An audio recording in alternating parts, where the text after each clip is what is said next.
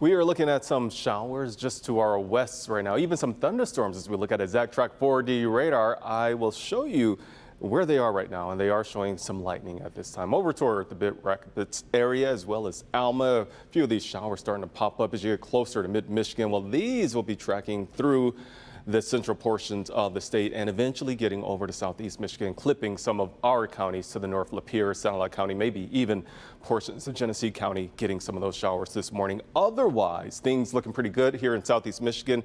We have a couple of showers popping up as you get over toward Ontario, but for the majority of us, we are going to be waiting until the evening before we start to see those showers and thunderstorms. So this is what we have in store for us. We have those showers that are going to be drifting down, trying to clip us, impacting some communities this morning, and then we will have to see the thunderstorms popping up and firing up later on this evening. Those have yet to develop and move into our area. Some storms a little bit on the stronger side already in Illinois, prompting some warnings at this time. So we do have a risk of some strong to severe thunderstorms. The lowest level marginal risk, including a big portion of the lower peninsula, including places right here in southeast Michigan, primarily to the west of I-75.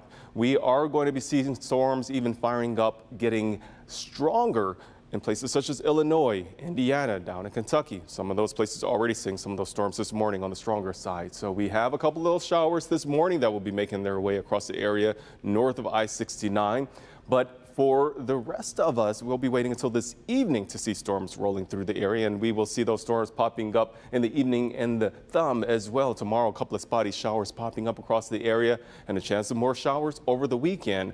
What will be changing over the weekend? Clearer skies. We will have some of that wildfire smoke diminishing, moving out of the area. Those winds right around five miles per hour at this time.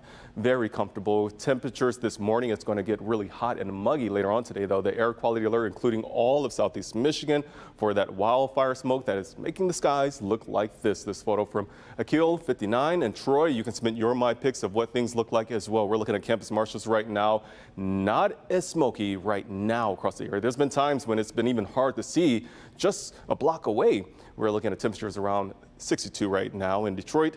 Temperatures across the area ranging from the mid 50s in most places to about 60 degrees. We're at 66 in Grosse Ile, Monroe up to 62 also at City Airport seeing that number as well. Air quality index will be showing that we will have poor conditions today, unhealthy for sensitive populations and at times very unhealthy. That wildfire smoke across the area. Moving through the area, we're going to see temperatures today getting up on the milder side. I'll show you what it looks like for today's forecast right there, getting up to about 84 across the area tomorrow, even warmer. And those temperatures throughout the week in the mid to upper 80s, overnight lows mostly in the mid 60s.